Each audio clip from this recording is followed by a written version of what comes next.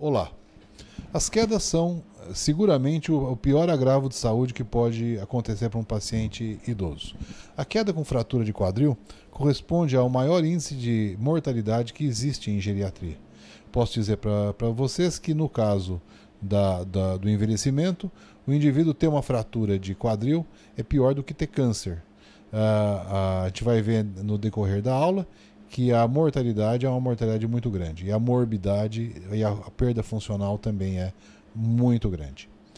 Um dado interessante é que a, a, entre as afecções que vocês vão ver com mais frequência no seu dia a dia, nos idosos, as, as alterações de, por causas externas vão estar tá, são das mais importantes. Não é a primeira causa de mortalidade, mas causas externas são a segunda ou a terceira causa de mortalidade em pacientes idosos. Quando a gente pega um dado do DataSUS, 14 anos, é um dado bastante relevante, e pegamos as, as taxas de internação por 10 mil habitantes, a gente vai ver que idosos são os que são mais internados por causas externas uh, uh, em unidades de, de internação de emergência. Uh, quando a gente pega as causas externas e vê a lista de causas externas, uh, a gente vê que inclui intoxicação uh, por, por gases, tentativa de suicídio, afogamento, ferimento por arma branca, ferimento por arma de fogo, coisas que os idosos geralmente não estão tão sujeitos. Por que seria que eles têm o maior índice de busca de pronto-socorro, então? Para pensar nisso, eu pedi para separei só desse grupo inteiro, eu separei as quedas. E vocês vejam que interessante que as quedas sozinhas no idoso, nos idosos correspondem à totalidade das internações por outras causas, nas, por todas as causas nas outras cidades. Portanto, vocês vão viver num mundo em que no pronto-socorro vai ter muita busca por idosos, principalmente por quedas. Quedas são afecções muito prevalentes em pessoas idosas. É tão prevalente que a gente precisa definir Uh, e a definição de queda é uma definição importante, porque do ponto de vista estatístico, epidemiológico. Por definição, a queda é o ato de vir primária e inadvertidamente a um nível mais abaixo ao solo, e esse dado é um dado que já exclui uma série de outras afecções que levam a trauma. Por exemplo, alguém que teve um surto psicótico e pulou um segundo andar, certo? Se ele não morreu, vai se machucar bastante, vai ter quebrado alguma coisa, mas não é queda, porque não foi inadvertido, foi voluntário. Não é? Uh, alguém que tem uma síncope, cai e quebra a perna, também não entra na estatística, porque não é primário, é secundário a síncope. Posso dizer, portanto, que mesmo nessa definição até restritiva, e vai que se nos subdimensiona o problema como um todo, os dados norte-americanos nos mostram que a cada ano cai um terço dos idosos que estão, moram na comunidade. Quando a gente pega as casas de repouso, a gente vê que metade dos idosos caem a cada ano. É evidente porque essa população é muito mais frágil do que essa. Também existe um aumento com a idade. A gente vê que dos idosos não institucionalizados até os 85 anos, de 8 a 19% caem por ano, e acima dos 85 já vai para 40%. Os idosos em casa de repouso, 60%. Será que no Brasil esses dados são iguais? São bastante parecidos. Nós temos aqui os dados do estudo SAB, feito aqui pela Faculdade de Saúde Pública, no qual a gente até participa. E a gente vê que esses estudos nos mostram que no Brasil, 26,8%, portanto um pouco menos de 30% dos idosos da nossa comunidade aqui de São Paulo caem a cada ano. Mulheres caem mais do que homens. É um dado que nos americanos não temos, que nós temos aqui. Ó. Mulheres caem mais do que homens. E também aumenta com a idade. Dos 60 aos 74 anos é 26, acima dos 75 vai um para quase 37 cento dos idosos caem por ano. Portanto, é uma, uma, é uma ocorrência bastante frequente. Por outro lado, a osteoporose também aumenta com a idade. Vejam os senhores que nesse mesmo estudo, sabe, quando a gente estuda a incidência de osteoporose por mil pessoas por ano, a gente vê que dá praticamente 14 por mil e, eh, e apresentam por ano, desenvolvem osteoporose. As mulheres têm oito vezes mais do que os homens. Vejam que interessante. Homens têm 3,5% mais ou menos, e mulheres têm 23%, perdão, por mil de, de é, chance de desenvolverem osteoporose a cada ano. Quando a gente junta a realidade da osteoporose com a realidade das quedas, nós vamos ter a condição da fratura, que na verdade é a somatória dessas duas situações. Que as fraturas podem se dar por traumas de alta energia ou de baixa energia. Alta energia, por exemplo, ninguém, nenhum de vocês vai se espantar se eu disser que um atropelamento por betoneira é um trauma de alta energia. Por outro lado, a senhorinha que estava no levantando da cama e caiu sentada no tapete é um trauma de baixa energia. Qualquer um deles pode dar fratura. Né? E a fratura sempre aumenta a fragilidade. Um dado importante que a gente queria colocar para vocês também é que a análise da fratura com a queda exige uma certa, uma certa uh, uh, uma certa segmentação na análise. É mais ou menos como aquele gol que ninguém sabe se foi impedido ou não, e que daí, quando se vê no, no videotape em câmera lenta, a gente vê. Vamos fazer a câmera lenta da, da, da queda. Né? Ele começou a cair, desceu, bateu, quebrou. Né? Vamos ver. Começou a cair, o início da queda, tem que ser para considerar estado neuromuscular, estado cognitivo. A descida, você tem que ver como é que caiu, de que altura, em que direção. O impacto, uma coisa é cair num chão de mármore, outra coisa é cair num tapete, e a densidade óssea, uma coisa é ter osteoporose e não ter osteoporose. Portanto, entre cair, entre começar a cair e quebrar, a gente tem que analisar esses parâmetros. Isso aqui é importante porque vocês, a partir disso, podem pensar em prevenir ou em minimizar os riscos de queda. Quando a gente fala de queda, nós vamos falar de duas coisas: consequências e causas. Consequências para nos dar uma ideia mais completa da, da, da importância. E as causas, porque é, sabendo das causas, a gente pode tentar prevenir as quedas. Quando a gente fala de consequência, podemos falar do trauma em si, da imobilidade e dos danos psicológicos e sociais que nos trazem as quedas para os idosos. A primeira coisa que pode acontecer ah, quando alguém cai é morrer. E a gente pode ver que no Brasil, nesse dado de 2009, que é do último censo, nos maiores de 60 anos, existe uma taxa de 29,2 por 100 mil não é? de risco de mortalidade por queda.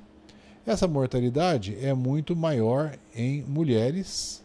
Perdão, essa mortalidade é, é, é, é maior em homens, a queda inicial, do que em mulheres. No entanto, existe uma característica muito interessante. Senhores vejam como evolui em homens. 0,6, 0,6 no correr da idade, de 9,2 vai para 31, ou seja, triplica entre os 50 e os 60 anos. Nas mulheres é muito mais importante. É, vai 0,4, 0,4, 1,1, 27. Se houvesse esse neologismo, a gente pode dizer que em mulheres 27 triplica a, o risco de queda. Mulheres têm um risco aumentado, principalmente no evoluir da idade, que é o que a gente pode observar. Além de morrer, a segunda consequência de trauma direto é fraturar. Né? Ah, a gente sabe que 1% das quedas leva a uma fratura de quadril. Né? No entanto, 90% das fraturas de quadril são resultados de queda. Portanto, ela é sim importante, apesar de cada uma poder parecer pouco importante, ela é um evento extremamente importante no risco de complicação. Por outro lado, as, que, as fraturas de, de quadril nos idosos, 90% são referentes à queda. E com traumas de baixa energia. Só para a gente ter uma ideia, os senhores certamente já vão ver no, na, durante o curso, quando falar das fraturas, tem duas fraturas que são frequentes de quadril. A fratura da cabeça do fêmur, chamada fratura de colo, que é mais alta, e a fratura entre os trocânteres, que é mais baixa. Existe uma diferença notável. A fratura mais alta, o paciente acaba geralmente ganhando uma prótese. E nas fraturas mais baixas, geralmente uma síntese. Isso se dá porque a, a circulação da cabeça femoral vem da artéria medial da femoral circunflexa, que é ascendente aqui. Portanto, quando quebra aqui em cima, a chance de haver alteração circular, circulatória é grande e a necrose aqui é muito provável. Quando quebra aqui embaixo, isso não se dá, porque a circulação está preservada. Então aqui você vai acabar tendo que trocar aqui, vamos dizer, a cabeça, aqui você consegue simplesmente fixar. A fratura mais prevalente, a fratura mais comum de todas, qual seria? Pois é vértebra. Apesar de não ser a mais grave, a fratura mais comum em qualquer idoso é fratura de vértebra. A segunda mais comum é a fratura de quadril, a fratura de, de, de seja transtroncateriana, se, seja a de colo, não é? E depois outras fraturas também de punho, ou de ombro, não é? As fraturas em idosos elas são geralmente é, na, na, ponta do osso, na epífise. Fraturas na, na diáfise também pode acontecer, mas geralmente ou quando é um trauma de alta energia ou quando o indivíduo já tem uma alteração, por exemplo, uma metástase, uma doença de Paget e assim por diante. Qual o motivo das uh, fraturas aparecerem principalmente na ponta do osso, aqui na epífise? São dois motivos. O primeiro é que aqui funciona um mecanismo de alavanca, portanto, o momento de força aqui na ponta é bastante maior. E o segundo é a estrutura do osso. A gente pode observar que, seja na vértebra, seja na, aqui na ponta do osso, a gente tem um osso chamado osso trabecular, que alguns chamam de osso esponjoso. Ao passo que na, na diáfise existe esse osso chamado osso cortical, que é bem mais resistente. Uh, além das fraturas, a gente tem que pensar também em outras alterações, tecidos moles, hematomas, contusões e todas as alterações que os senhores certamente já conhecem. Chamar atenção apenas nessas condições, quando vocês estão no pronto-socorro, de que a, a, o tétano hoje em dia é uma doença que é quase extinta, mas não é extinta. E o, o, o vamos dizer, o cluster onde aparece tétano ainda é em idosos, principalmente nas, nos ferimentos que muitos deles não têm, não estão fora de cobertura vacinal e têm uma, uma fragilidade de pele maior do que os outros. Além disso, a imobilidade depois da queda também tem consequências. A dor, as quedas frequentemente levam à dor, mesmo quando não leva à fratura, e a imobilidade tem toda essa relação que os senhores certamente já conhecem. Uh, o medo de cair né, é um medo patológico, é um medo fóbico, os americanos chamam isso aqui de fear for falling, é seguramente uma das maiores complicações das quedas, porque o indivíduo perde a, a vamos dizer, a, a, assim, a sua autonomia, perde, pelo caso do, por causa do medo, a possibilidade de sair, de andar ou de se locomover e com isso ganha fragilidade e aumenta o risco de queda, como a gente vai ver daqui a pouco. A gente pode, de alguma maneira, resumir as consequências nesse quadro que é bastante trágico. Né? Os senhores vejam que aproximadamente 16% dos homens e 30% das mulheres terão tido fratura de quadril após os 90 anos, que é uma idade que tem muita gente que circula por aí ainda hoje. Como é que evoluem as quedas? Pois vejam que situação. Um terço dos pacientes morre no primeiro ano, o que já é em si já coloca mais grave que a maior parte dos cânceres. Um terço se recupera. E esse terço que nem morreu e nem se recuperou vai ganhar tantas limitações nas suas atividades de vida diária que metade desse povo vai acabar sendo institucionalizado, o que é quase que é, muitas vezes pode ser uma espécie de morte civil. Portanto, a, a, a evolução das quedas, a sua consequência, ela é trágica. A fratura de quadril é trágica nos pacientes idosos. Qualquer coisa que a gente faça para prevenir vale a pena. Uh, para que a gente possa prevenir, nós precisamos saber as causas das quedas. Aqui nós temos um gráfico que o senhor certamente já viu em outras situações, que é da Organização Mundial da Saúde. Eu, inclusive, traduzi aqui para a gente colocar, não é? Nos diz que as quedas podem ter como causas fatores comportamentais, fatores biológicos, fatores ambientais, fatores socioambientais e tudo se mistura. Para facilitar a vida dos senhores e a minha, a gente pode separar isso aqui numa caixinha em fatores intrínsecos e fatores extrínsecos. Fatores intrínsecos, aqueles que têm a ver comigo. Né? Por exemplo, se eu caio porque eu tenho catarata, ou se eu caio porque eu tenho uma, alteração de propriocepção plantar por diabetes, ou se eu caio porque eu tomo um remédio que me dá uma hipotensão postural, isso é um problema meu, é intrínseco. Se eu caio porque o piso é irregular, se eu caio porque a escada não tem corrimão, se eu caio porque a iluminação está inadequada, é um problema do ambiente, é um fator extrínseco. Eu posso cair por motivos extrínsecos, eu posso cair por motivos intrínsecos. Como é que acontece isso?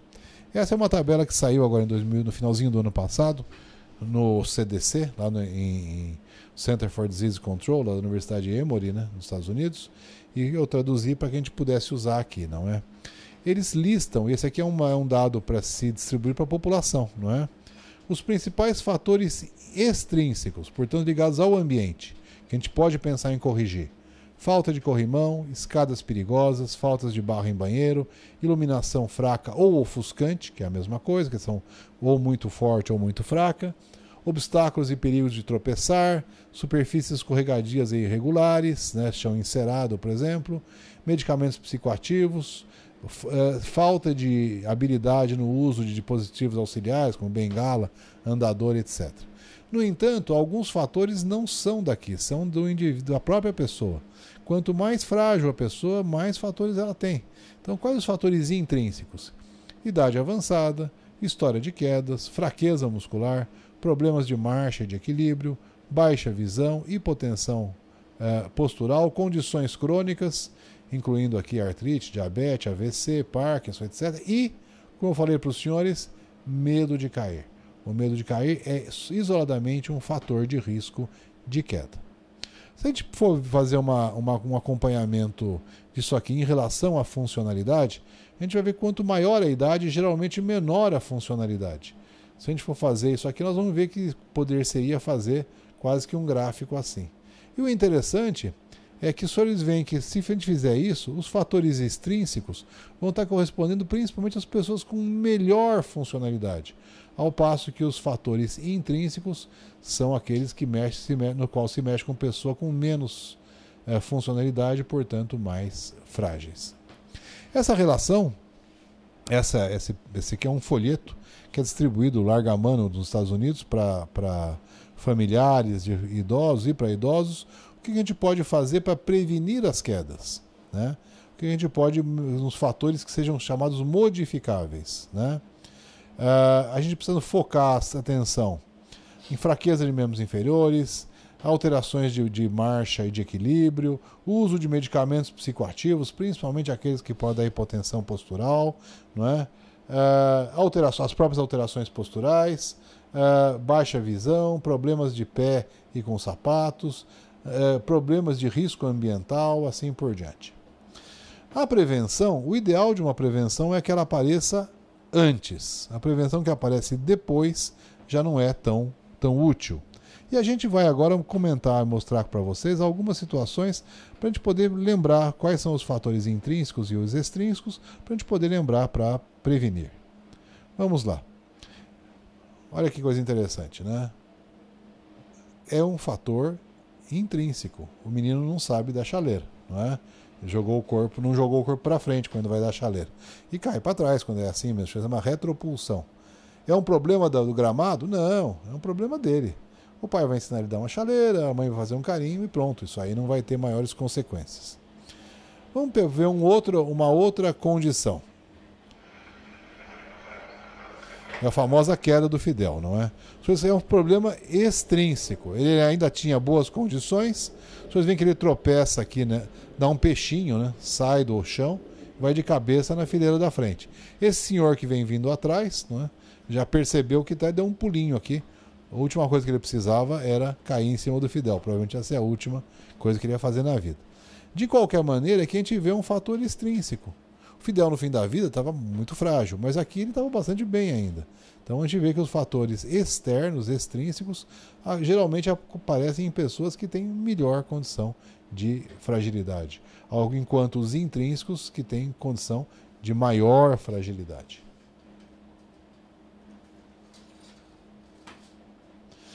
Uh, entre os fatores intrínsecos, os que são mais é, importantes no, nos, nos idosos correspondem à perda funcional. A gente percebe que esse é um trabalho feito pela doutora Mônica Perracini, que trabalha conosco aqui, e nos mostra que no, nesse estudo, que é um estudo antigo, mas ainda é válido, uh, num estudo epidemiológico em São Paulo, só metade das pessoas maiores de 60 anos não tinha nenhuma incapacidade.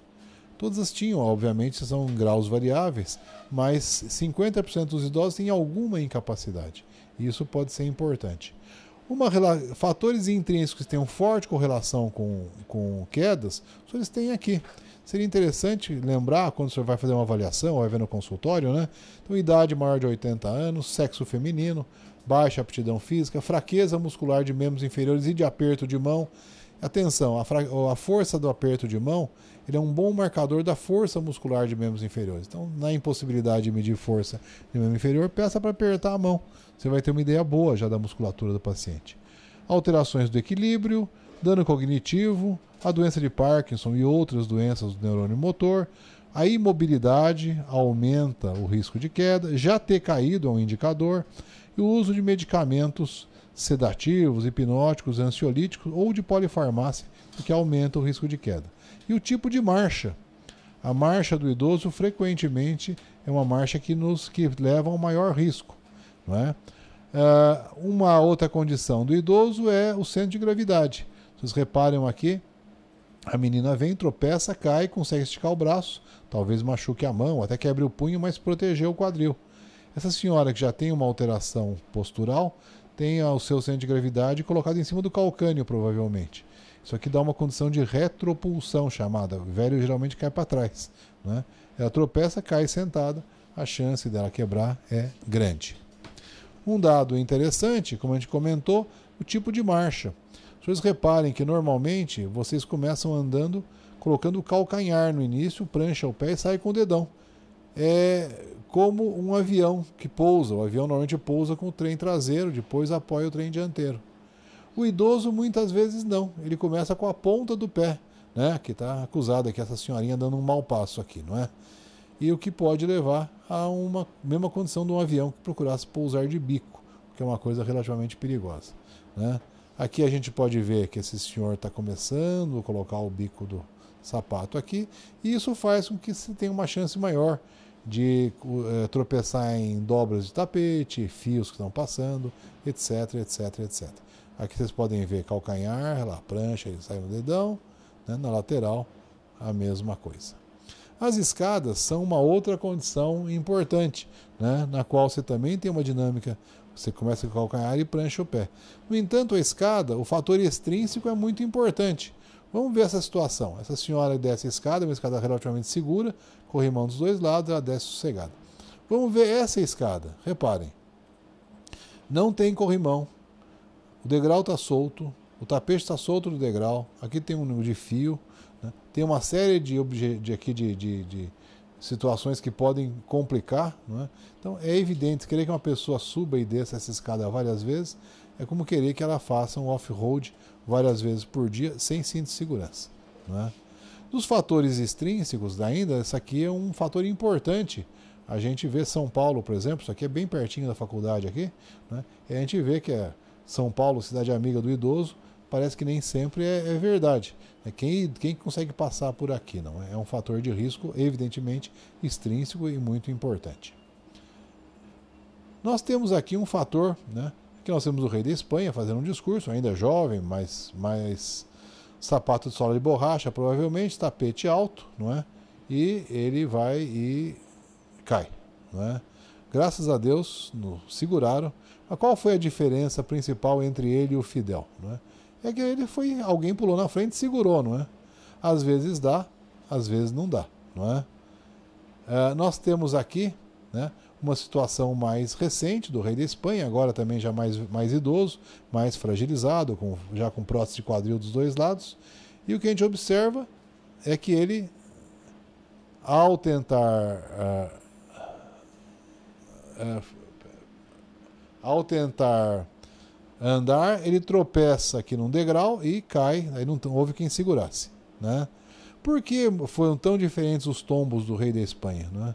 Os dois têm um problema ambiental, só que aqui ele está muito mais frágil, tanto é que quebrou o nariz aqui. Não é? Então a gente vê que quanto mais frágil a pessoa, maior a chance dela cair, apesar, com, sem e apesar das proteções ambientais que você possa ter. Nas, uh, uh, dos fatores intrínsecos, o mais importante é a visão. Alterações como essa, de visão periférica, que leva, no caso do glaucoma, ou alterações como essa, de, de nitidez de, que aparece, no, por exemplo, na catarata, podem levar ao maior risco de queda. Dos fatores extrínsecos, o mais importante é iluminação. Nós temos aqui o exemplo, o Caetano aqui está cantando lá em Brasília, né? De repente dá aquele clima bom, assim, ele resolve andar no palco, só que ele não avisou o iluminador. Ele resolve andar no palco, o iluminador fica desesperado porque ele entrou numa área de sombra, começa a mexer o canhão, quem é do show medicina sabe o que é isso, fulgura e ele simplesmente cai, não é? Pois aqui foi um problema de fator extrínseco, iluminação notavelmente presente. Eh, eu recomendaria aos senhores, como fatores extrínsecos, que entrassem nesse site da Casa Segura, ligada aqui ao, ao, ao, ao à História Brasileira de Ortopedia, não é? E podem, vão poder ver que as diversas apoios e possibilidades de, de adequação ambiental para fatores extrínsecos. Escada talvez seja um dos mais importantes. Vocês reparem aqui, o, o corrimão de uma escada tem que começar antes do primeiro degrau acabar depois do último. Senão se acaba tendo dificuldades tão grandes quanto subir o Everest para um indivíduo frágil, não é? Aqui nós temos uma escada que é comum a todos nós, a, a, lindíssima, a escada da, do saguão da Faculdade de Medicina. O Nelson Rodrigues tinha uma peça que se chamava assim, bonitinha, mas ordinária. Não, é? não vou dizer que a nossa escada seja ordinária, mas ela é inadequada. Vocês reparam que os últimos seis degraus não tem corrimão. Se alguém tem dúvida, é só ver de lado e vamos ver que isso acontece. O certo, na verdade, é esse tipo de corrimão hoje em dia, que tem aqui na ortopedia. É da ortopedia, nosso padrão não é do metrô isso aqui. Você pode reparar que ele começa antes e acaba depois. É o que a gente pode ver, inclusive com adequação para uh, pessoas com deficiência visual. Muito bem, muito obrigado uh, por essa, esse tempo.